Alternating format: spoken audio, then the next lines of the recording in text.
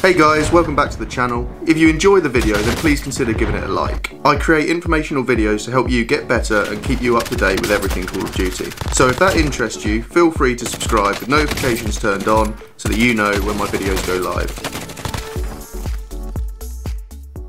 Today we're going to be looking at the latest update. This is the May 18th update. Infinity Ward uh, released it last night. Um, I think it was night time in the US and morning time on the 19th uh, in the UK where I am. I've done the update, I've played around with it a bit, and we're just going to go through the really big changes. So there's some new maps, there's some new updates to Warzone, and there's also some very interesting weapon updates which I'd predicted in one of my last videos. So let's get into it. So they've added the Ghost Pack Contingency Bundle to the store, which costs 2,400 COD points. This is all just cosmetic items.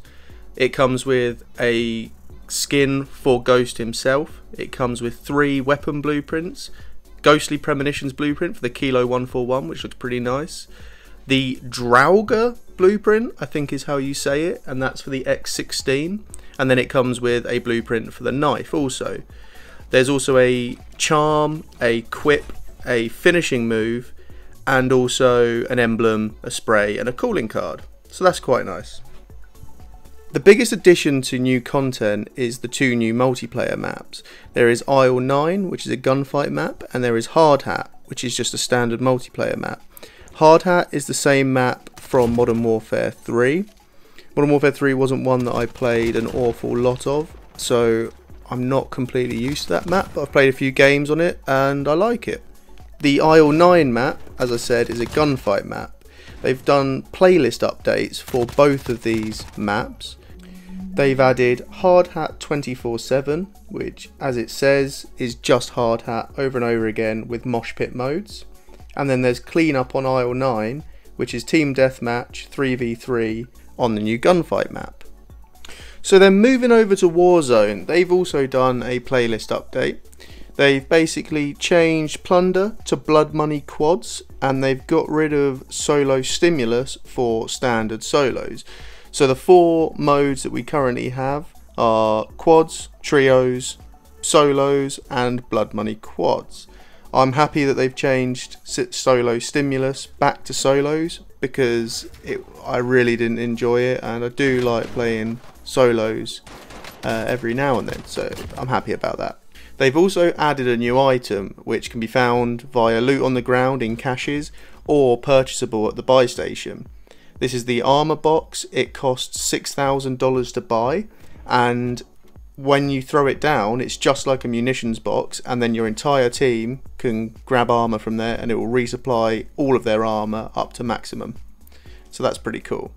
They've also added the most wanted contract back into the game, and this time they haven't removed anything, so we've now got four types of contracts. They've then done a loot update, so they've added the new SKS into the Warzone weapon pool They've also updated five blueprints, one for the AX50, the Kilo 141, the FAL, the MP7 and the AUG. Then quite a big update is with Gulag. So they've changed the guns completely in the Gulag. So now there is no longer shotguns and pistols. It is all assault rifles and submachine guns. The there are six assault rifles that you could get and four SMGs. Those guns are the Kilo 141, the M4, the AK-47, the M13, the SCAR, the Ram 7, the MP5, the AUG, the P90 and the Striker 45. I think this is an interesting change. I'm not sure how I feel about it at the moment, um, but time will tell. There are then a ton of general fixes and bug fixes throughout the game, which I'm not going to go through here, but I'll leave a link to Infinity Ward's blog post on it in the description. There are then updates to quite a lot of the guns, and most of the updates are quite small, but there are two that really caught my eye. One of which I was expecting, and I mentioned in my video about the best secondary for Warzone, and I think actually these two changes make that video even more relevant now. So the first one is to the Renettis. So the Renettis were quite powerful, just like the snake shots were. I never felt they were as good as the snake shots, but they've reduced the max ammo reserve, so you're going to have less ammo for the Renettis. They've also increased the hip spread, so when you're firing from the hip with the burst mod, it's going to be way less accurate. And they've also made a small decrease to the damage that the burst mod has. They've also reduced the damage when Akimbo and the burst mod are both equipped, so this is going to make them less powerful and you're probably going to see even more people going with a loadout like I spoke about in my last two videos. They've also updated the RPG. Now this is the one that I predicted would happen soon and was why I wasn't recommending the RPG in that best secondary weapon video. They have reduced the kill radius for players with full armor. So before you just get RPGs spammed into rooms if you were stuck in a building and you really couldn't do much about it. But now if you've got full armor, it shouldn't kill you. I haven't tested this yet, but that's going to be something that I'm going to do soon.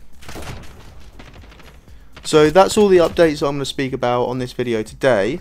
There are loads of updates, other updates that are much smaller, but I think we covered the important ones today. I'm going to include the link, as I said, to the Infinity Ward blog post so that if you want to go and read about all of the changes, then you can.